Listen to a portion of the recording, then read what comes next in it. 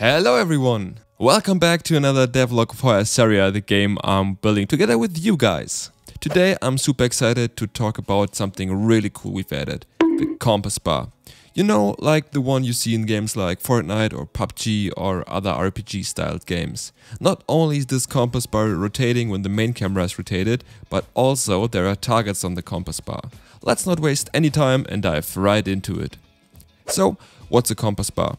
Well, it's this handy little thing at the top of your screen that tells you which way you're facing. It's like having your own personal guide to help you navigate through the game world.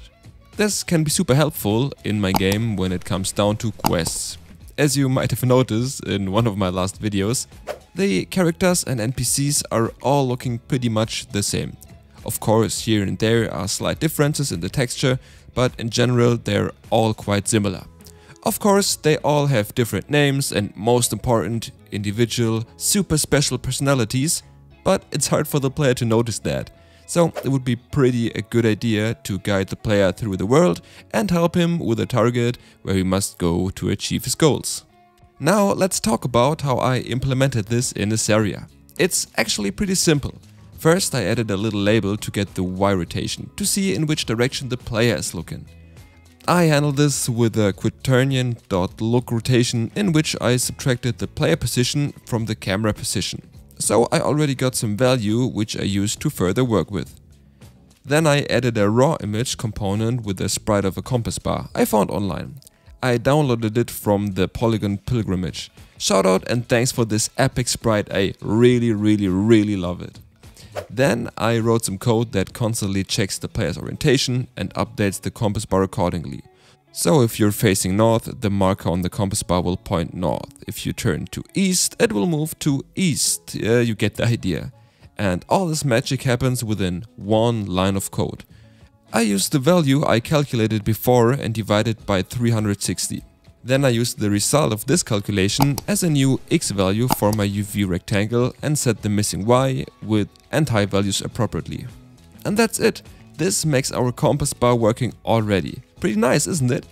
Actually, all the magic besides the code comes from the fantastic sprite, so thank you again. But now I want to get a step further.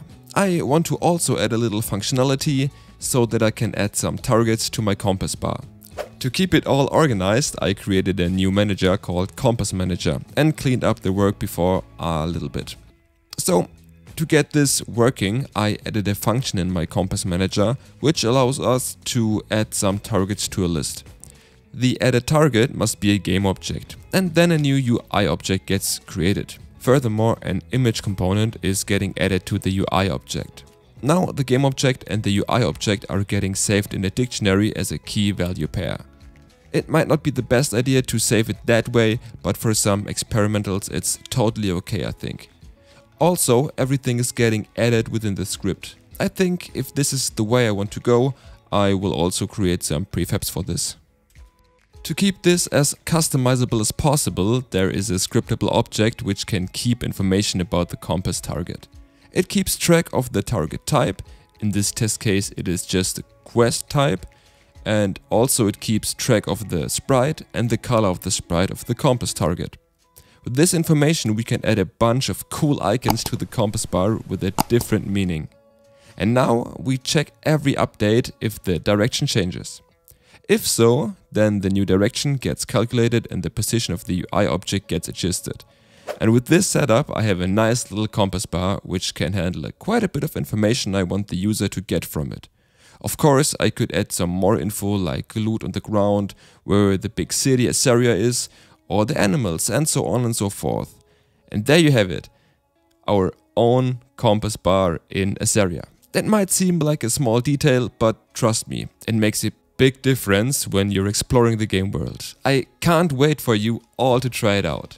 If you liked the video, then please hit the like button and don't forget to subscribe if you do not want to miss any updates about my game Azaria. Thanks for watching, we see us in the next video, bye!